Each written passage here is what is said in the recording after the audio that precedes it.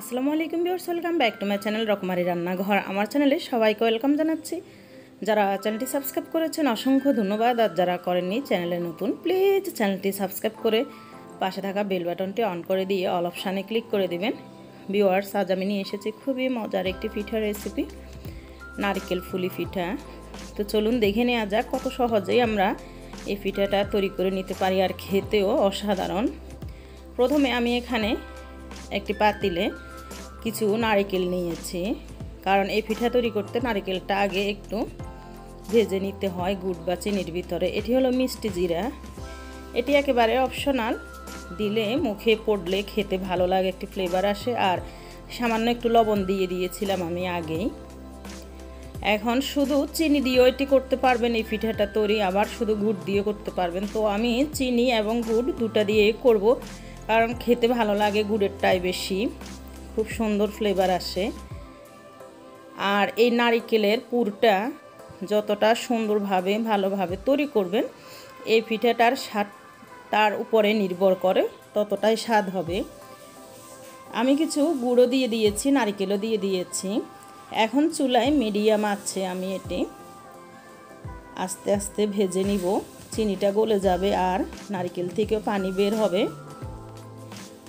গুড়টাও গলে নারিকেলের সাথে একেবারে আঠালো হয়ে যাবে। দিয়ে দিব দুটো দারুচিনির টুকরো আর একটি তেজপাতা। এগুলো আমি পরে তুলে ফেলে দিব, তবে লং বা অনেকে এলাচ ওদের, ওটা ভালো লাগে না, মুখের নিচে পড়লে, আর ওটা বেছে ফালানোও যাবে না।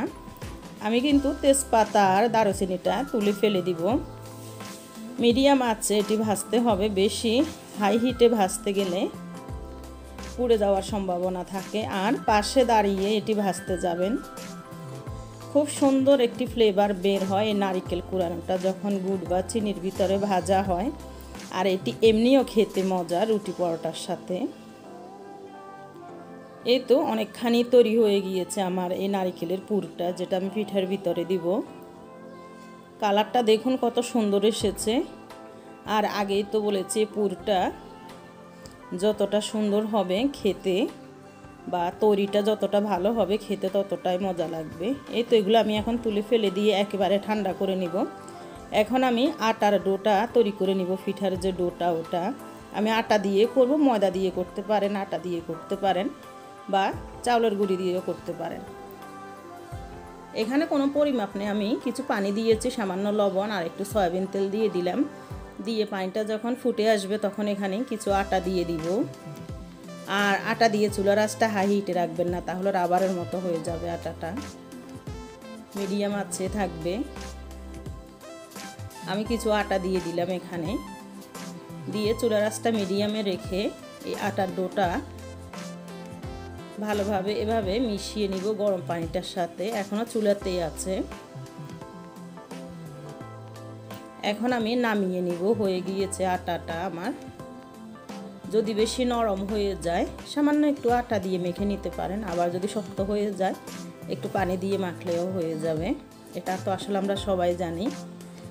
আমি ঠান্ডা করে নিচ্ছি। ঠান্ডা করে নিয়ে একেবারে ম্যাশ করে এটি মথে নিব। যতটা সুন্দর করে মথে নেবেন গরম গরম অবস্থাতে।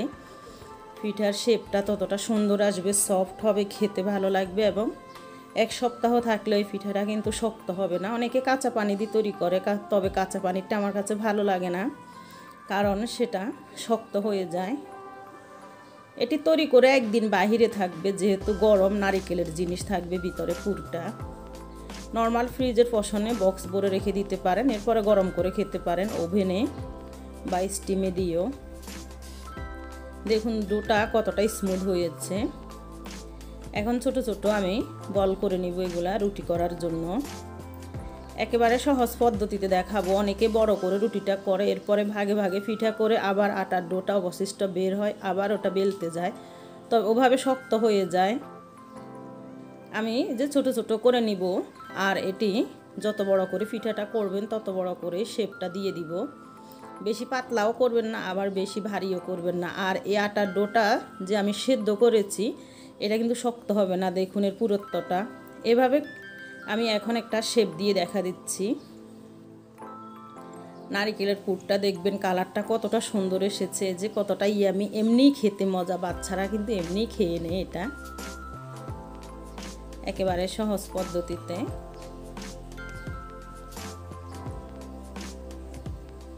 কেউ ডিজাইন করতে চাইলে ডিজাইনও করতে পারেন, তবে আমি একেবারে সহজ পদ্ধতিতে দেখাচ্ছি। ঝটপট তৈরি করে নিতে পারবেন। এখন একটি কাটা চামচ দিয়ে আমি ডিজাইনটা করে দেখাচ্ছি। এভাবেও রাখা যায় অনেকে, সাইডের অংশটা মুড়িয়েও দেয়।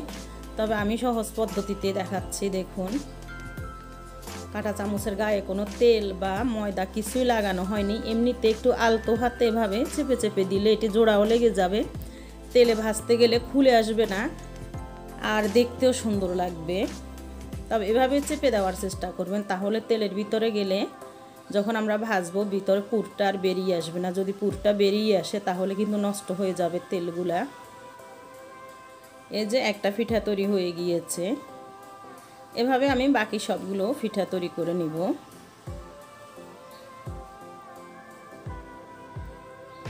অনেকগুলো পিঠা তৈরি করছি। আরেকটি টিপস দিচ্ছি। যতটুক ডো আমরা রুটি বেলবো, বাকিটা আমরা একটা ভিজা কাপড় দিয়ে এভাবে ঢেকে রেখে দিব, তাহলে কি হবে? অনেকখানি সফট থাকবে। আমি বেশ কিছু রুটি করে নিয়েছি, একসাথে রুটিগুলো করে নিলে হয় কি? তাড়াতাড়ি হয়ে যায়, পুরগুলা সহজে দেওয়া যায়। একটা তৈরি করে একটা পুর দিতে গেলে ভিতরে অনেক সময় লাগে। আরেকটি পিঠা আমি দেখিয়ে দিচ্ছি। একসাথে এভাবে বেলে ঝটপট কিন্তু পুরগুলা দিয়ে দিতে পারেন। তাহলে কাজটা ধাপে ধাপে সহজ হয়ে যায়।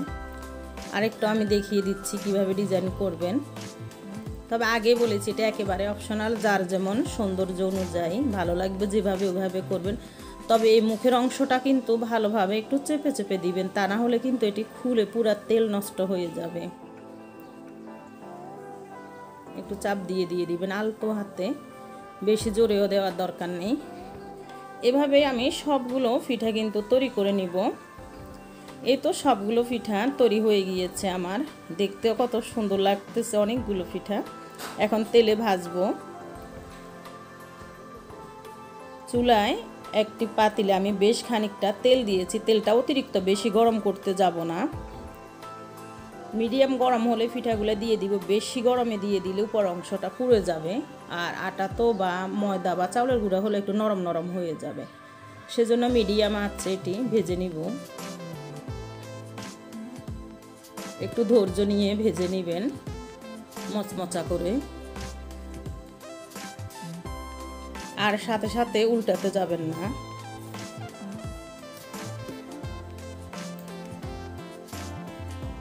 আর লক্ষ্য রাখবেন যে ওই যে মুখের অংশটা যাতে না খুলে যায়, ভালোভাবে একটু ফিনিশিংটা দিলে খুলবে না কিন্তু। আমার কিন্তু একটি পিঠারও কিন্তু মুখের অংশটা খুলে নাই মাসাল্লাহ আর বড় কড়াইতে এটি ভাজতে যাবেন, তাহলে দ্রুত ভাজতে পারবেন। কয়েকটা পিঠা একসাথে দিয়ে ভাজতে পারবেন। প্রায় এখানে আমি যে পাঁচটা পিঠা দিয়েছি, এগুলো হয়ে গিয়েছে। এখন তেল ঝরিয়ে আমি তুলে নিব। এভাবে কিন্তু বাকি পিঠাগুলোও সবগুলো আমি ভেজে নিব।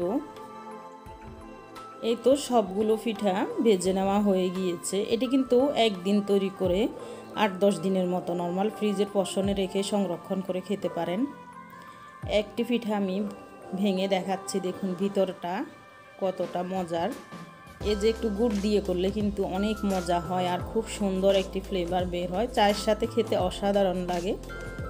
তো ভিওয়ার্স এভাবে কিন্তু আমরা ঘরে মজার মজার পিঠা, নাস্তা তৈরি করে নিতে পারি আর একদিন তৈরি করে আমরা সংরক্ষণ করে খেতে পারি। ভিডিওটি যদি ভালো লাগে প্লিজ চ্যানেলটি সাবস্ক্রাইব করে পাশে থাকবেন আর ভিডিওতে একটি লাইক দিবেন শেয়ার করে দিবেন, অন্যকে দেখার সুযোগ করে দিবেন। দেখা হবে বিয়ার্স পরবর্তী ভিডিওতে। ভালো থাকবেন, সুস্থ থাকবেন, পরিবার নিয়ে সবাই। আল্লাহ হাফেজ। আসসালামু আলাইকুম।